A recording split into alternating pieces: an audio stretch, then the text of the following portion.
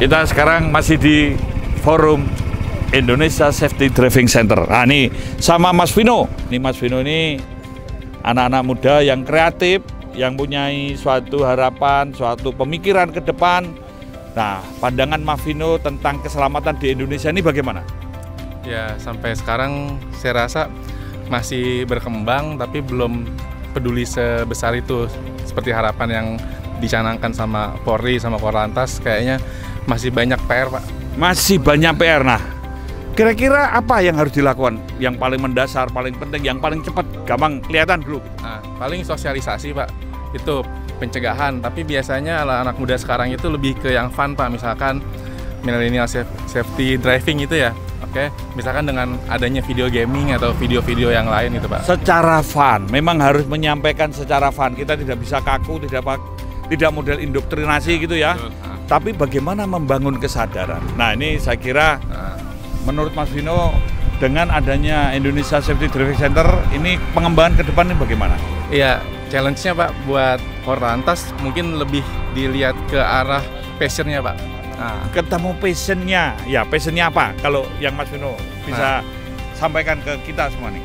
Misalkan passionnya anak sekarang tuh kan lebih suka visual Pak dari video. Misalkan ada video untuk uh, web series dari video TV ataupun video YouTube ataupun sosial media atau video game, Pak. Oke, gue secara visual. Jadi sosialisasi secara visual membuat ketertarikan itu dimulai dari cara-cara visual gitu ya.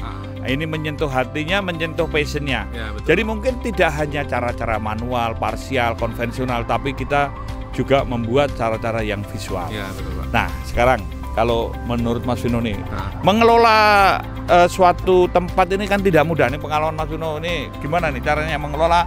Sarannya apa? Ya sinergi Pak biasanya. Sinerginya itu bukan cuma dari perusahaan atau dari instansi, tapi dari masyarakat juga Pak. Sinergi, bersinergi. Jadi ini supaya dimiliki semua pihak. Iya betul. Ya, Membangun semacam konsorsium atau bagaimana?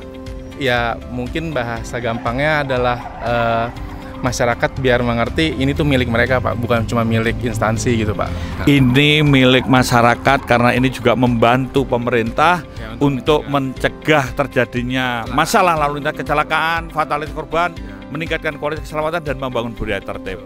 Nah ini untuk closing, Mas Vino nah. ada pesan-pesan moral apa?